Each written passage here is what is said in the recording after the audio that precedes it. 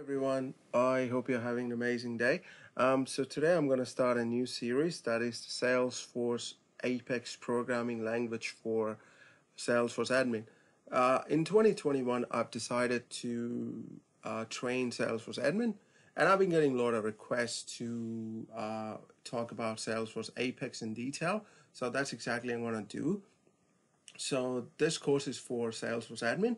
Uh, if you're a programmer, you might as well stay if you're interested. But if you have been working with Apex for, say, for over a year, then this course may not be uh, suitable for you because I'll be covering from very basics. So this course might seem a little bit dull for you if you are someone who's fairly confident with Apex side of things. But by all means, stay stay tuned, and you know if you want it, you can listen to it, right? But if you're a Salesforce admin, right, then this is the course for you. And my main intention is to get you hooked up into Apex, right?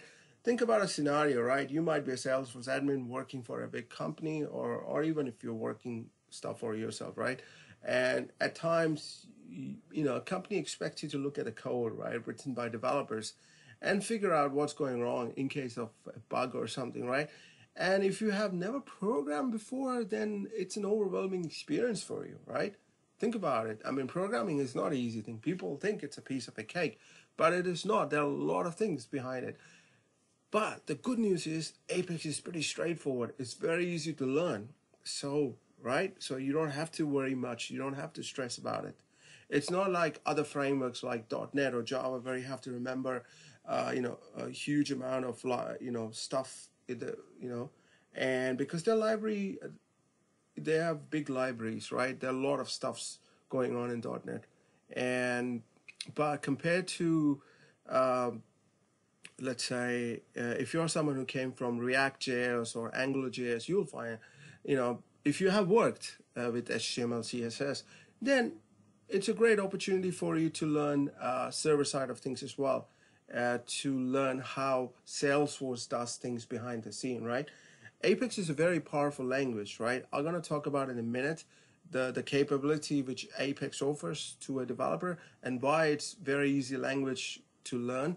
And um, uh, if you are someone uh, who has seen Pascal or read Pascal in your uni days or you know whenever it is, you might find Apex a little bit similar because of case insensitivity, right? Apex is a case insensitive. Now you might wonder what the heck this guy talking about, right? Don't you worry, I'm gonna cover everything in detail, right?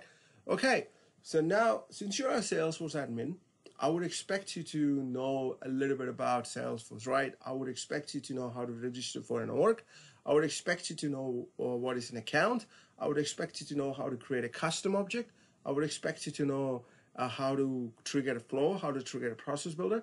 So I'm not going to cover that because I'm starting this course especially for Salesforce admin who has a knowledge of Salesforce. But if you are purely new to Salesforce, um, then I would highly encourage you to read a little bit about um, Salesforce before you come to this uh, Apex side of things because I might use terms like accounts, contacts, you know, uh, custom objects. You might wonder what the heck this guy talking about.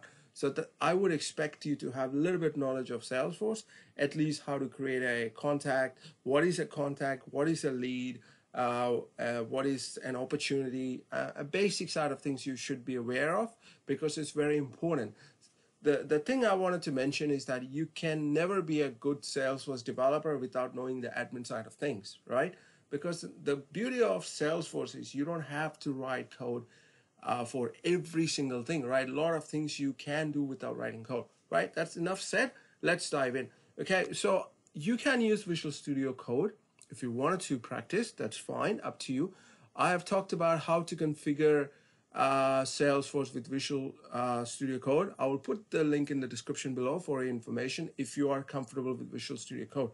But let's assume you have never used any programming interface. So we're to use the developer console, right? Pretty straightforward developer console. Uh, advantage of developer console is uh, you can use even a Chromebook to code, right? Look at that, right? You can use a Chromebook to code. How simple that could be, right? You don't have to uh, install any software. You can just, you know, log in to your you know Chromebook or you can you know use your laptop or your desktop. You know it's pretty st- straightforward. Okay, right. So now how to get into Developer Console? Okay, that's pretty straightforward. As you can see, I've logged into my org. There is a Gearcog icon here. Okay, and now I go to Developer Console here. Okay, so if you're an admin and let's say you know you probably might know how to use the developer console but if you don't this is the way you, you can do get into developer console now developer console is pretty interesting you can do a lot of things here right so let's not worry about the code for now okay so when okay let me clear this as well um i will also talk about a little bit of SOQL I mean, it's okay if you don't know how to write a SOQL query. That's fine. Don't worry about it. I will talk in a little bit detail about SOQL when we reach that stage. But today, that's not the day, right? So this is a fine looking interface, right? You have file, right? Where you can use new, right? And you can create an Apex class, Apex trigger, Visualforce page, Visualforce component, right? So don't worry about anything after Apex Trigger. We're not going to talk anything about it, right? Because this is not a Visualforce page or a Lightning page uh, uh, code, sorry. So we're going to talk about class. We're going to talk about objects. We're going to talk about object-oriented concept, right? Uh, it's very important for you to know, right? But today, that's not the day. Today, we're going to talk about a little bit nitty-gritty part of Apex syntax, just to get you started, right? Just to make you feel uh, comfortable with Apex, right? I understand that you never programmed before. That's fine. So you're in the right place, okay? And you can see here, query editor, this is where you write your SQL query, okay? So we're not gonna write here, and we have a logs where you can see the logs, right? And this is the test where you run your test case. Now you wonder what this test case is about. Don't worry about it. We'll talk about it later in detail, right? And we have checkpoints. I'll explain to you what checkpoints are about when we get into detail and talk about view state. We're going to talk about progress, and problems, right? Problems is pretty straightforward. This is where you will see the problem in your code, right? Okay, now, this is pretty straightforward, okay? Now, let's unfold the beast, right? What is Apex, right? I mean, you must be wondering, this guy I've been talking about for last 10 minutes, Apex, Apex. But he didn't explain to us what is Apex, right? Okay, Apex is an object-oriented programming language, right? It's designed by Salesforce, okay? Now, object-oriented programming language is different to functional language, okay? Now, I'm not going to go into functional uh, language, so let's stick to object-oriented language. All the programming languages you might have heard in your life, right? Like C Sharp, Java, Python, right? Uh, Ru uh, Ruby, um, C++, plus these are object-oriented program, right? Because they deal with objects, right? They deal with classes, right? They deal with concept of objects, right? Everything is an object, right? Uh, it's about the stack and uh, don't worry about it. I'm not gonna confuse you. Just hold on for a second, right? So it talks about object-oriented, right? Obj like like I said, object-oriented in terms of everything is represented in terms of an object. Okay, so I'll explain to you in detail when we get into object-oriented side of things. But just for now, keep into consideration that it is an object-oriented programming language, right? It's not a dy dynamic language like um, uh, uh, like JavaScript. Okay, now you might wonder what is a dynamic language, right? So in dynamic language, right? So you don't so when you write a piece of a code, right? So let's say I write a piece of a code, and then you run it. Uh, your compiler, right? Uh, the the place the IDE integrated uh, environment, right, where you write your code, will not tell you upfront that oh there are these are the problems in code, right? You can only find out if there is an issue with your code when the code runs, right? Code runs and you do some operation on an, an application. Let's say, let me give you a very simple example. You have a small web page, right? Your, your web page gets loaded, no problem. You have a, a few buttons on a, on a web page, let's say, to move back and forth, right? Let's say there is a fault in your back page code, right? Uh, the button where you want to move to another page or something, right? Just assume that. Uh, so if you're doing in a JavaScript, when you run it and deploy it, it won't tell you there's a fault, right? Uh, Whereas Apex is different, right? When you run it, when you try to save it, when you try to run it, it will tell you, oopsie, there is a problem in your code. Perhaps mostly a syntax error, right? If there is a syntax error, JavaScript won't tell you straight away. Um, you know, or if you try to do something funny things, right? So I don't want it to confuse you. So just, I'll show you what I mean by that, right? Let me give you a very simple example, okay? Um, don't get overwhelmed. I'm not going to talk about much uh, about the classes. Let, let me, I have this one Apex class, right? This is an Apex code, right? And I'll explain to you about Apex just for now, what I mean by, uh, you know, compile time or a runtime, right? So let me say I, I just, just put something, okay? And try to save it, okay? You'll see what happens, right? You see, it gave you an error here, right? You see this red dot here? It says unexpected token, right? So it will do a compile time checking, right? When you save the code, it actually compiles in the behind the scene and tells you, oh, look, there is something wrong here, right? So that's why Apex is powerful. You can figure out an error straight away when you try to save it because it won't let you save if there are if there are issues in your code, right? Okay, that's one of the things. And you might know what is a multi-tenant, right? Because Salesforce is a multi-tenant, right? Where the resources are shared. So so Apex is pretty different to your .NET or Java, right? Because it runs on the cloud, right? It's not that you have a separate IDE. You know, you can do uh, you can do offline using Visual Studio Code, but it's a little bit different to your uh, your Java or C Sharp things, right? Um, so it's get compiled in the cloud and, and the code gets saved in the cloud. That's how it happens, right? So it's not like that you have the ownership of the code. You can take your code. You can, by all means, you can take your code and save somewhere else. But in Salesforce, it stores the cloud. Uh, sorry, it saves the code in the cloud so that it can runs in the cloud. Okay, now, why do you have to learn Apex, right? You might be thinking, oh, I heard someone when talking about the Lightning component and Visualforce page. Why do you have to learn Apex, right? Why can't I learn Lightning? That's a good question. Now, there are two things which you have to, there's a server-side programming and there's a client-side programming, right? Um, so anything to do with your front end, right? The look and feel, right? You can see that, you know, look and feel in the sense, um, this one. This is your front end, right? Front-end code, that's where the Lightning comes into the picture, right? Lightning code, right? Your JavaScript code comes in the picture. But anything to do with your backend, right, where the server calls needs to be called, that's where Apex runs in the picture, right? For instance, you wanted to schedule a, if you're admin, right, you know how to schedule a job, right? If you wanted to do schedule a job using your Apex, right, using a code, then you use Apex. You wanted to pull some information let's say from a third-party API, you use Apex there, right? Let's say you wanted to push information to another API, you use Apex there. See, in API integration, Apex is highly used. Um, your batch processing APIs is highly used, right? Okay, let's dive in now to look at some code, okay? So we close this boy here because we're not interested in this. Now, where do you practice it, right? To see, pretty straightforward. Okay, so go to edit, uh, sorry, go to debug and open execute anonymous window. This is where you're going to write Apex code to practice it, okay?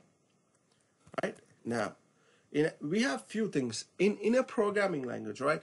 Programming language is like a it's like a normal language you speak, right? It could be English or French, or could be Hebrew, uh, could be uh, Sanskrit, or could be you know any language, right? You speak. It's something similar, right? So programming language is the language you, you use to speak to your computer, right? That's all it is, right? So computer has to understand what you're trying to say. You can't say, hey, mate, how are you doing? It, Apex, what the heck? What are you trying to say? Are you trying to send a string? Now you wonder what is a string, okay? So that's where the data types comes in the picture, right? So you might have heard about date, right? Everyone looks at, you know, everyone knows how to look uh, how to uh, calculate the time, right? If someone asks you, "Oh, mate, can you tell me what's the time now?" You can pretty uh, pretty much tell someone, right? What's the time? So that's where the date, uh, date and time data type comes in picture, right? So data types are very important, right? That's where the thing which you deal with when you do uh, work with Apex, right? The first is the string. The string is, you know, the way you declare uh, the string is like, you know, text, right? Hey, how are you doing? You know, any kind of error message that goes into string.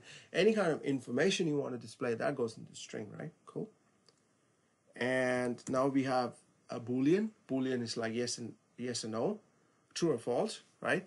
So, uh, so we have boolean, right? That's true and false. Like it's like um, if, right? Uh, say, um, if x equal to ten, right? In simple terms, and where the value of x is not ten, right? Let's say value of x is five, and you're comparing if is the value of x equal to 10? So the answer will be no, right? That's where the Boolean logic comes in the picture, right?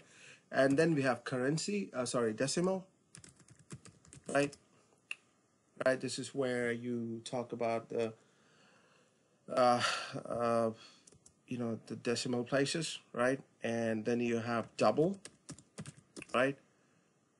And then we have integer, right? So if you wanted to have uh, integer, right? everyone knows what integer is, right? If you're studying mathematics, you know what integer is, right? And then we have list. Uh, it's a collection. Now, you might wonder what the heck is collection, right? We'll worry about that later, okay? And um, we have maps. Now, yeah, maps, right? So we'll talk about maps later. And we have set, right? So this is a, also a collection, right? And then we have something called sObject, right? Which is a another data type. Okay. So for now, we worry about these, you know, few data types. And so we need to declare a variable, right? Now, you might wonder what is a variable. Variable is where you store the value, right, for your operation inside the code, okay? So now, there are two kinds of variable. One is a local variable, right? And where the scope is limited to a function. Now you might wonder what is a function. I'll explain it in a minute, right? So in a code, right? Let's say I wanted to um, calculate um, to uh, I wanted to add two numbers, right? Okay, so it's pretty straight to do it, straightforward to do it, right? So we need to declare two variables, right? Uh, one let's say A, and other say B, right? And A will hold, let's say, whatever value, B will hold whatever value, and C will hold the sum of A and B, right? It's pretty straightforward, okay? So, so now, what do you think the data type should be? You can't use string, right? String is only for text, right? You can do alphanumeric, but you can't do addition or subtraction using a string, right? Um, so integer, because if you're not expecting a decimal, right? If you're saying I want to add only, uh, you know, non-decimal numbers like one, two, three, then you shouldn't be worrying about doubles, right? Then you should be only worrying about uh, integer, right? So what we're gonna do, um, we're gonna do integer a, okay? And you can say integer.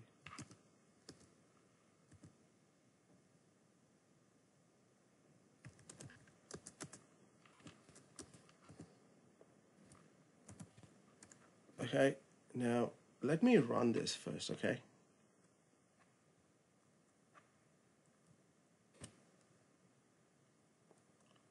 Okay, so no error. The way to find out there's a no error, see, as you can see that, when I did execute right, it gave an error, okay? Now I'll define integer c, okay? Now I can put a plus b, right? So obviously it will work. But will it give any result? There is no result because you are trying to, that means there is no value to it. Okay, so now if I put, let's say I put a equals to 1, okay, now b equals to 1, right? Okay, and now I'm going to say, so now if I run this, okay, it will work, okay?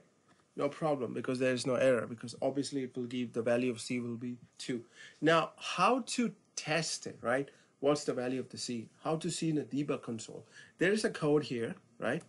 Uh, Salesforce gives you a very simple way. So you can do system.debug, okay? Just put C. It will flush out the information on the debug screen, okay? Just a second, I'll show you, okay? So when you do execute, it will generate a log file for you because there's an open log text, sorry, checkbox, right? And go back here, okay? So you can see this and we can say debug only. You can see two, right? Because one plus one, two, right? Now, this is not really fun, right? I mean, you you can you can do something like this, right? Now, let's say this is integer, okay? Now, these are in general, uh, if you uh, so we have something called local variable and global variable that will become clear when we talk about classes and functions right? So you can write a simple function here. Function is like uh, now if if I wanted to um, say use the p use this piece of a code right? The only way I can do is that I have to copy paste it again and again elsewhere right? Which is not really good. In programming remember one thing copy paste duplication of a code is is a horrible practice. It's a worst practice, right? Uh, so you should not doing. I've seen many codes which you know makes me wonder what the heck that guy was thinking, right? I was, it's just rubbish, I would say, right? So you often it's good to uh, put that in the form of a function, but I'll explain to you later what function means. Uh, where if you wanted to reuse your code again and again and again, right, keeping the logic same, then it's good to put in a function, right? Right? Okay, now this is about the integer. Now you have, if you wanted to say, I wanted to have a decimal, right? I wanted to add, say if I wanted to, I'll show you the difference here, 1.2, okay? 1.2, now see the difference. Okay, so you can't assign from decimal to integer, right? So you'll get an error, okay? Now, if you wanted to keep this here, okay? And now you can do double a okay and integer. So a1 you can yeah, always remember to give a meaningful name. So you can put first value okay and you can put second value right and so double right? You can put double or double this way. It doesn't matter because it is a case insensitive language. Remember I talked about case insensitive right? Uh, cases don't matter, like C sharp. If you put the double and this double, both means different things, right? Or if you put this, uh, say, uh, for instance, you have first value, right?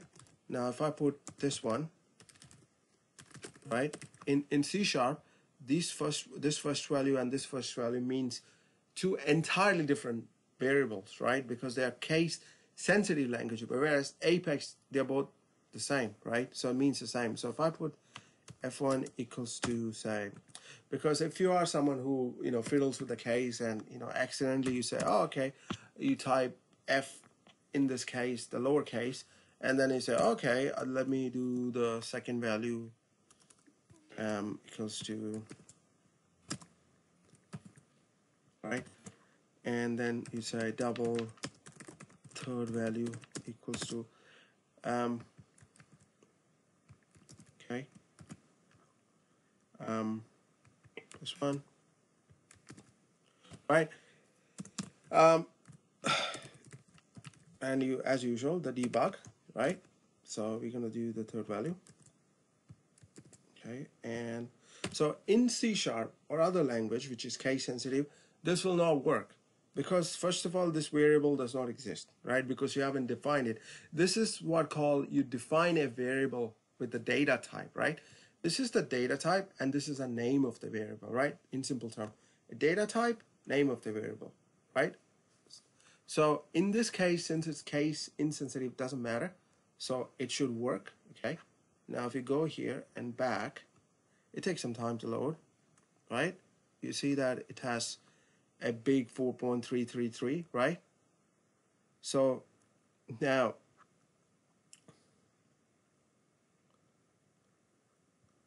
Let me show you another thing, right? If you do decimal, say, okay, now, if I don't want to use this code, you can comment this code out, right? Means it will not work, okay? So let's say there are two ways to comment. If you want to do individual line of comment, so you can do this. So that means this code does not exist on this context. So now when you try to run it, it will give an error. Variable does not exist because you commented out the code, right? Or if you want to comment out the entire block, you can do this, right? You close this one. Simple, okay? Now, let me show you how to do with the decimal. There's a Let's see what happens if you do decimal, right? If there is something called decimal in the first place, right? Let's figure out. Let's run it. Okay. Let's do decimal second value. Okay, and let's say uh, I'm gonna put okay 2.4. As I said, it's case insensitive, so it doesn't matter. Uh,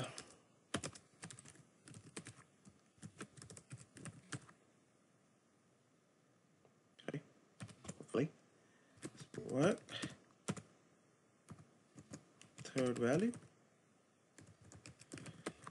Programming is fun, right? If you enjoy programming, then it's great. Okay, so see, something doesn't exist, so that's a typo, sorry. Uh, Apex 1 fix your typo, I'm afraid. Okay, the third value doesn't exist because I didn't put this one. Okay, you have to always define a variable with the data type, otherwise you'll get a message it does not exist. Okay, so yeah, um, and so yeah, so it's got 5.1 right now. You might wonder, hmm, what's going on? Okay, let's have a look. So that's the right calculation because it it's actually uh, precise the decimal places, right? So if you can do uh, 5.2, 2, so usually it's, it's, it's very good if you are dealing with currency, right? Money, amount, so that's where decimal is very handy. Okay, and so, right, so this is pretty good, okay?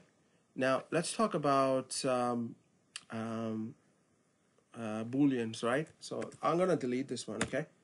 Uh, so we're gonna say boolean uh, demo. Okay. Okay, so you can say demo equals to true. Okay. Now system dot debug demo. Okay. Right. So you can only assign true or false value to it, right? If it's true or it's it's used for uh, you know, conditional testing, right? If this happened, then do this. If else do this, right? So we're going to talk about if else as well, which programming language if else plays a very important role. Now, you can't assign anything else to this. So if you try to do that, you can assign false as well. Okay, so false will work. Okay, that's fine. Now, if you if you assign falses, say for instance, right, it will give an error because there's no such thing called falses because the data type only understand true or false because that's the boolean data type, right? and then you have date then you have you know you have date right? Then you have date time okay? So these are the another thing which you can talk about. I'm, I'm not going to talk about that today uh, so just not to complicate confuse you guys. There's one last thing i want to talk about today that's string which is very important. String like uh, demo this is like if you wanted to uh, display a message or a text right? So you're going to do demo equals to um, hello world. Um let's see i oh sorry that's okay. This is okay hello world. So this is how this uh, because if you if you work with a different programming language sometimes you get confused. Right because in uh, uh, in apex right this is how you declare a string in c sharp you put double quotes there right so um, so this is how you de declare a string. And like I said, if you wanted to uh, display an error message or wanted to display a text, then you should use the string, right? String is not used for any arithmetic calculation. If you wanted to do mathematical calculation, then string is not the data type. You need to use uh, integer, doubles, decimals, right? Uh, if you wanted to do a logical check, right? If and else, then Boolean variable, right? If you wanted to work with dates, then only you should use dates, right? If you wanted to display today date, and store it in a variable, then you should use um, today, then use the date or date time, right? Date time will display date and time, right? Okay, so let's see what happens. And, um, right, okay. Right, so it's pretty straightforward, right? Now, I hope you guys are feeling pretty much confident, right? This is one step, right? I'm sorry I, I took long to explain, but I just wanted to make sure you understand it.